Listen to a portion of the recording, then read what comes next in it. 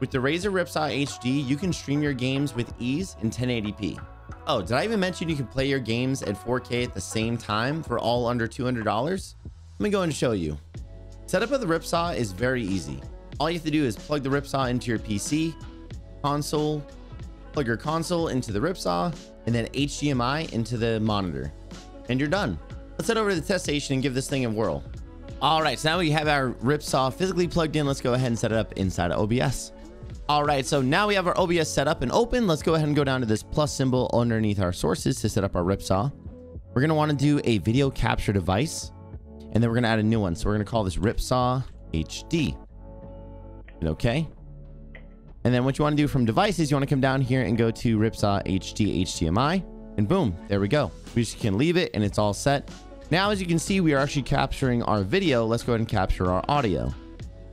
So now you'll want to go back down to this plus button, go to audio input capture, call this Ripsaw HD audio, and then make sure that you find the one that says Ripsaw HDMI and not just regular Ripsaw microphone. Otherwise, this is going to capture the input on the back of it, not the actual HDMI sound. You want to click on this, click OK, and then you want to come over to where it says audio mixer go to advanced properties and make sure that it's on monitoring and output. Now we can hear that it's actually capturing sound. Now keep in mind too, if you do decide to download the actual software, there are some things you can do inside of the software that'll actually impact the actual hardware itself. So if you go to your Razer Synapse software and click on the actual Ripsaw HD, you can actually control different volumes here. So you can control the HDMI, PC output volume, the microphone, and also master overall volume as well.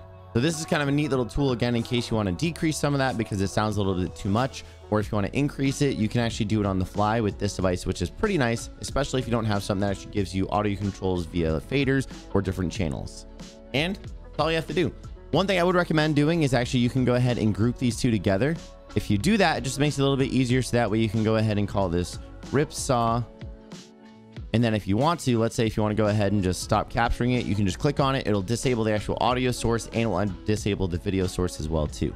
So, but it's really, really that simple.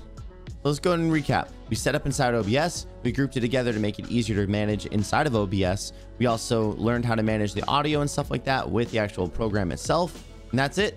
Now you can actually game in 4K and stream in 1080p. Pretty awesome if you ask me. Let's go ahead and wrap up this video. Do I even need to mention that demo?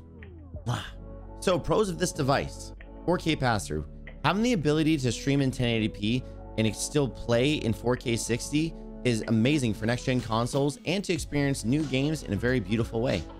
Mic and auxiliary input. Having the ability to be able to add voiceover and add in other audio sources to the Ripsaw directly is a phenomenal feature to have. Great colors. In my research, I found that this actually offers really beautiful colors it's actually a little bit better than some of its other competitors. Software is not required. You can still use this without actually having any Razer software installed on the computer, which is actually pretty awesome. Solid build. This actually uses USB Type-C, feels sturdy, it looks great. It's actually a little bit slimmer than some of the other cards that are out there right now. Now let's look at some of the cons that are not such a great display of the features that it offers. No 4K capture. This was released last year. It would have been amazing to have that 4K capture ability, but for under $200, it's still not a complete loss. Adding separate audio track in OBS. It's kind of weird because I've used other cards. I've never had to add a separate audio track to get my clean, clear audio at the right time with no lag. And I had to do it with this card, which was a little weird. The volume is kind of quiet. Even having the volume maxed out in the actual app and in my system, I still realized it was a little bit quiet, which might be kind of hard for other streamers to adjust for properly. So what are our final thoughts? Overall for 199, this is very competitive for the performance and power that it packs into its sleek, beautiful design. If you are looking for a capture card, I would seriously consider looking into this one. And that's about it. If you guys enjoyed this setup, please give us a thumbs up. It really helps us out. And if you want more content curated for content creators, go ahead and give us that sub and head over to pipeline.gg. Happy streaming.